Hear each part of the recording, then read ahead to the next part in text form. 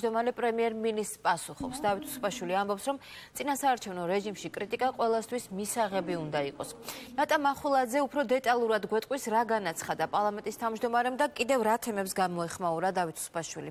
პარლამენტის თავმჯდომარეს მიაჩნია რომ ვინაიდან უკვე დაიწყო წინასაარჩევნო პერიოდი აუცილებელია პოლიტიკურმა სუბიექტებმა ერთმანეთის აზრს პატივისცენ და მიიღონ ადეკვატურად განსხვავებული აზრი. გარდა ამისა დავით უსუპაშვილი მოუწოდებს პოლიტიკურ ლიდერებს არამხოლოდ ქართული ოცნების პოლიტიკური ლიდერებს, არამედ სხვა პარტიის წარმომადგენლებსაც, რომ კომენტარებზე კომენტარების ნაცვლად უკვე სხვადასხვა საკითხები მან მათ პირდაპირ ეთერში დებატებისას გაარჩიონ.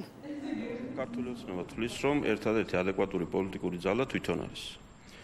რესპუბლიკური პარტია ვთვლით, რომ ჩვენ არ ვართ ერთ-ერთი ადეკვატური ძალა, მაგრამ სხვებთან შედარებით ვართ ხოლმე უფრო ადეკვატური. რა უფრო ადეკვატურია და ვინ უფრო არ არის ადეკვატური, ამას მოსახლეობა ამორჩეველი მოქალაქეები განსაზღვრავენ. დიახ, საარჩევნო კამპანიის დროს ყველა პოლიტიკური სუბიექტი ვართ კონკურენტულ რეჟიმში ერთმანეთთან, ერთმანეთი ყავს ამოღებული სამიზნეში. ვაცხადებ მზაობას ამ კვირის ბოლოდან ნებისმიერ ეთერში ნებისმიერი წამყვანი პოლიტიკური სუბიექტის ლიდერთან ნებისმიერ თემაზე დებატებისთვის. აი, მოდი იქ გავარკვიოთ ყველაფერი. შეგახსენებთ, რომ პრემიერმა არაადეკვატური უწოდა დავით უსუფაშვილის გამონათქვამს თავდაცვის მინისტრის დანიშნვასთან დაკავშირებით. როგორც დავით უსუფაშვილი ჩვენთან საუბარში აცხადებს, მას გააჩნია საკუთარი აზრი, ვინ უნდა ხელმძღვანელობდეს თავდაცვის სამინისტროს და მიაჩნია, რომ ეს უნდა იყოს სამოქალაქო პოლიტიკური პირი, თუმცა ეს ლევან იზორიასთან თანამშრომლობისთვის მზადაა. როდესაც თავდაცვის მინისტრი ჩვენ ყავდა სამხედრო პირი, მაშინ მე და ჩვენი პარტია რესპუბლიკელები გამოდიოდით იმ ინიციატივით, რომ გადავსულიყავით იმ სისტემაზე, როდესაც თავდაცვის სამინისტროებს ხელმძღვანელობენ სამოქალაქო პირები, პოლიტიკოსები. ეს არის ჩემი აზრით და ჩემი ინფორმაციით ის ევროპული მოდელი, რომელიც ჩვენ მივდივართ და მე ამ ამ ამის თაობაზე მქონდა ჩემი პოზიცია. ლევან იზორი არის თავდაცვის მინისტრი. მე ვარ პარლამენტის თავმჯდომარე, უშიშროების საბჭოს წევრი. მე ვარ თავდაცვის და ჯარის გაძლიერების და თავდაცვის ნორმების ამაღლების ისეთივე მომხრე და ისევე მომდომებული, როგორც ვყავი გუშინ და გუშინწილ.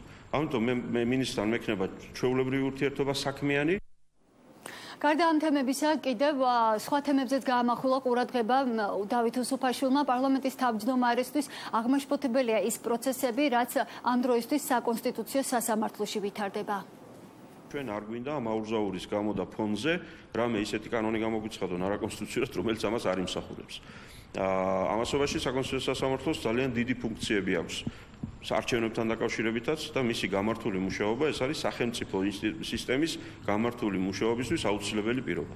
მაგრამ მე სიმართლე გითხრათ დავკარგე რამე ოპტიმიზმი იმასთან დაკავშირებით რომ არსებულ შემადგენლობაში და არსებულ ვითარებაში რაიმე სასიკეთო მოხდება, ამიტომ მოუთმელად ველი სექტემბერს. დავით უსუფაშვილი პრემიერისგან და ასევე სხვა პოლიტიკური სუბიექტებისგან თანხმობას ელოდება ტელედებატებთან დაკავშირებით.